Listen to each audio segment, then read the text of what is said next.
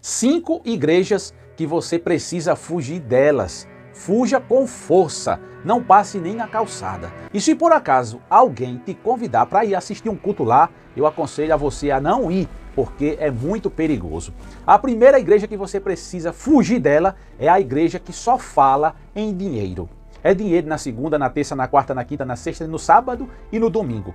Eu não estou falando aqui nos dízimos e nas ofertas, porque o, o pastor precisa dos dízimos e das ofertas para que o, o trabalho funcione. Tudo envolve dinheiro, é normal, é bíblico. Faz parte o crente é, ofertar e dizimar. Eu estou falando naquelas igrejas que a teologia da prosperidade é até aqui o gogó, só fala em prosperidade, em riqueza, em dinheiro e diz que você tem, diz que você tem que ser rico, que diz que a sua casa tem que ser a melhor casa da rua, o seu carro tem que ser o carro mais novo da cidade e que você tem que usar os melhores perfumes, os melhores relógios, porque você é cabeça e não é cauda, porque você é filho do rei da glória. E muitos crentes vão nessa ilusão e passam até a acreditar nisso. E às vezes quando tem um crente assim que não conseguiu prosperar financeiramente, aí ele acaba entrando assim num complexo de inferioridade e começa a se martirizar dizendo assim: "Meu Deus do céu, eu sou, eu estou em pecado, Deus não está se agradando de mim, porque eu não consegui prosperar, não consegui comprar minha casa, moro de aluguel, nem carro eu tenho, nem moto eu tenho, um ano de bicicleta.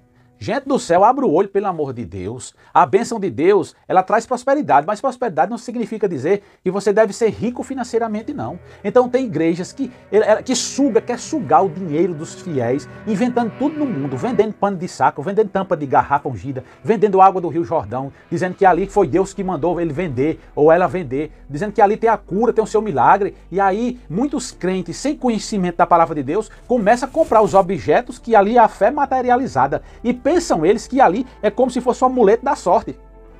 Que aquelas coisas, que aquela escova ungida vai resolver o seu problema. Não resolve coisa nenhuma, não, gente.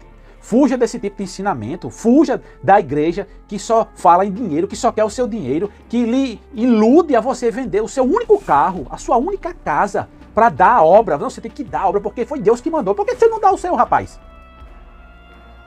Deu o seu. O seu único carro deu seu. Não é porque Jesus disse: se tiver duas túnicas, dê uma, reparta uma com teu irmão. Isso aí é outra coisa, meu irmão. Isso aí está falando da ajuda ao próximo. Nós não podemos deixar de ajudar o, o nosso irmão, sabe? Isso aí fala, fala dessas coisas e não de você pegar tudo que você tem e dar a alguém, porque esse alguém se diz ser de Deus e usa o nome de Deus em vão para tomar, para sugar o dinheiro do, dos, dos, menos entendidos que ca, acabam caindo nessa lábia. Ajuda o seu pastor, ajuda a obra, ajuda a campanha que o seu pastor está fazendo. Dê o dízimo, dê a oferta, mas cuidado com certos tipos de líderes religiosos que só falam em dinheiro 24 horas, não falam nem Jesus. Eles, muitos deles, não estão preocupados com a sua alma, com a sua fé, estão preocupados se você tem dinheiro. Segunda igreja que você precisa fugir imediatamente. A igreja que tudo pode. Não queira participar da igreja que tudo pode. Ah, eu vou para aquela igreja porque lá eles me aceitam do jeito que eu sou, como a Bíblia diz. Vinde a mim do jeito que estás. Certo? A Bíblia diz isso. Mas a Bíblia não diz que é para você permanecer do jeito que você está. Você vem com as mazelas, com os pecados, com os embaraços. E quando você chega, aí Jesus, ele limpa as suas vestes no sangue do cordeiro, né? E aí os seus pecados são perdoados. E aquele, aquele homem, velho homem que fazia as antigas obras, aí ele agora faz, ele agora começa a praticar as novas obras. O homem velho já não, não, não existe mais. Eis que as coisas velhas se passaram e eis que tudo se fez novo. Ele agora é uma nova criatura em Cristo Jesus. Porém, existem muitas igrejas no Brasil que são cheias, que passam na televisão e você diz assim, menina, como é que a igreja desse pastor começou um dia desse e já está tão cheia de gente? É porque a igreja que tudo pode. Lá pode cantar em pecado no púlpito. Sendo cantor, foi para o culto, não importa. Qual, qual, qual o segmento de música que ele canta. Mesmo sem ser evangélico, recebe a oportunidade e canta, canta aqui para louvar a Deus. O povo bate palma, chora e diz assim: "Eita, aí uma igreja inclusiva, viu? Que aceita, aceita todo mundo do jeito que tá". Gente, nós temos, nós não podemos ficar numa igreja que não nos confronte. Tem que ter confronto contra o pecado, sabe? Não fique, não queira, não aceite, fuja da igreja que tudo pode. Tudo aceita. Não é assim. Terceira igreja, fuja da terceira igreja. É a igreja que nada pode. Tudo lá é pecado. São tão santos que às vezes, se souber que você fez alguma coisa errada, não, estende, não estende a mão para lhe dar a paz do Senhor. Porque se baseia no versículo que diz assim: não dê pérolas aos porcos.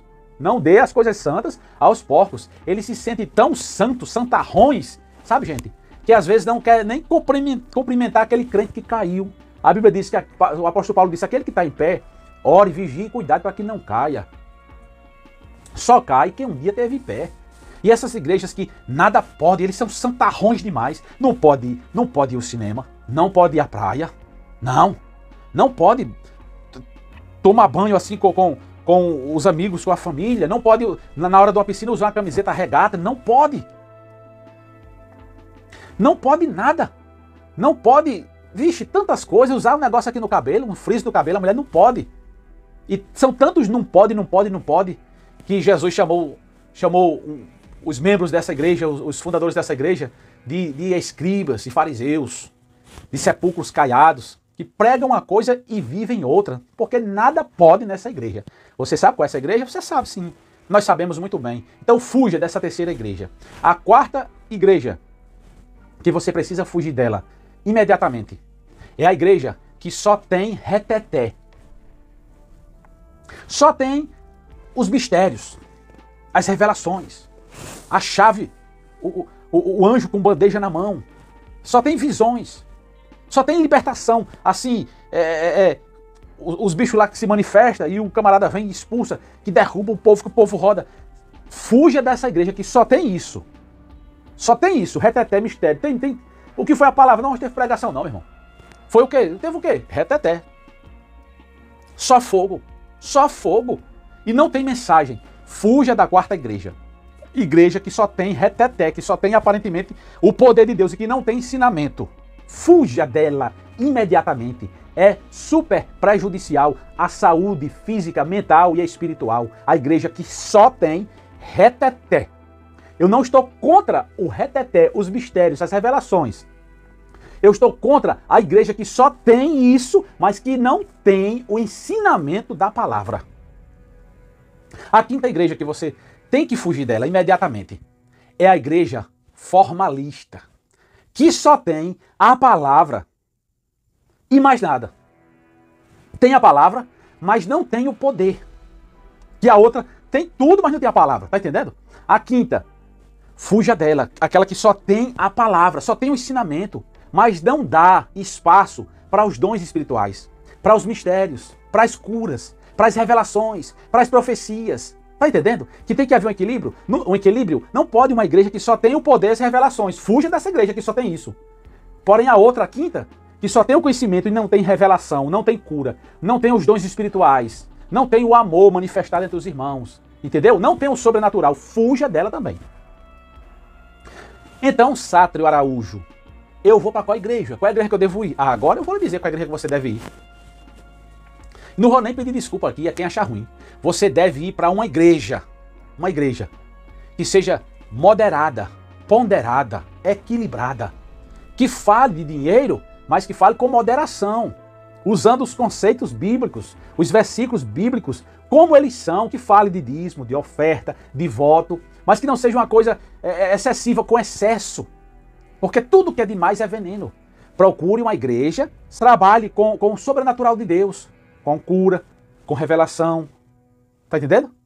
Com os dons espirituais, que ela seja uma igreja que dê espaço para o Espírito Santo de Deus trabalhar, entendeu? Vá para uma igreja que tenha Bíblia em primeiro lugar, que tenha o um ensinamento da palavra, mas que seja uma igreja que ensine como os discípulos ensinaram, como Jesus ensinou, que ensine, que corrijam, sabe? A, a quem faltar, a quem pecar, que confronte o pecado, mas que exorte com amor, com dedicação. Vá para essa igreja. Tá entendendo? Vá para a igreja que tenha Jesus como centro da sua pregação, da sua mensagem. Que seja uma igreja cristocêntrica. Tá entendendo? Que seja uma igreja que não possa, que não pode tudo. Vá para a igreja, aquela igreja que não pode, que não aceita tudo. Mas também que ela é, é, é não condene tudo, não proíba tudo. Vá para a igreja que não confunda usos e costumes com doutrina. O que a Bíblia diz é doutrina. Isso devemos seguir. Disso devemos nos alimentar. Usos e costumes, cada uma denominação tem o seu, tem a sua regra, mas não é doutrina. Então vá para uma igreja equilibrada. Aí você me pergunta, então qual é a, a denominação perfeita? Eu digo para você, onde tem a mão do homem não é perfeito. A igreja de Jesus, existem duas igrejas. Uma igreja que vai subir e uma que vai ficar. A igreja espiritual, o corpo de Cristo, essa é perfeita, imaculada. Ela não peca, sabe? Ou melhor, ela é redimida. Ela pecou, mas ela foi redimida pelo sangue do Cordeiro de Deus. Então, você deve. É, todas as denominações têm, o seu, têm os erros, porque tem a mão do homem. E no sistema que o homem, que o homem põe a mão, tem erro. E muito erro. Não existe uma igreja perfeita, é uma denominação perfeita. Você vai pegar esses conceitos que eu passei aqui para vocês. Se vocês de, estiverem dando crédito, eu queria muito aí ver o seu comentário. Coloque assim embaixo. Eu concordo com, com a sua explanação. Eu, eu concordo com a sua palavra. E se você não concorda, coloque aí. Não concordo com a sua palavra. Esse comentário vai valer muito para mim, porque eu vou ler todos os comentários aqui, gente. Me interessa demais. Então é isso. Qual a igreja que eu devo procurar? Você vai ver, vai, vai analisar tudo o que eu disse. A Bíblia diz assim: olha, examinai as Escrituras, porque cuidais nela ter a vida eterna. Não deixe ninguém te enganar. Quando o teu pastor pregar, quando o teu líder religioso pregar, confira na Bíblia, veja se o que ele disse está na palavra de Deus. Depois você lê o texto, e texto sem contexto é pretexto para heresia. Nunca pegue um versículo e isole, vá ler antes e ler depois para você entender. Então o Espírito Santo de Deus é a melhor pessoa para te indicar qual é a denominação que você deve frequentar. Se ela estiver dentro desses requisitos que eu mostrei aqui para vocês, se ela dá liberdade ao Espírito Santo de Deus e está firmada, balizada na doutrina, da sã doutrina, prega a Bíblia, se ela prega a Bíblia e acredita nos dons espirituais, na manifestação do poder de Deus, sabe? E combate o pecado e tem Cristo Jesus como centro da mensagem, pode ir para essa igreja aí. Eu aconselho a você a, a, a, ficar nela que vai dar certo, tá bom? Eu sou o Sato Araújo, TV Paraú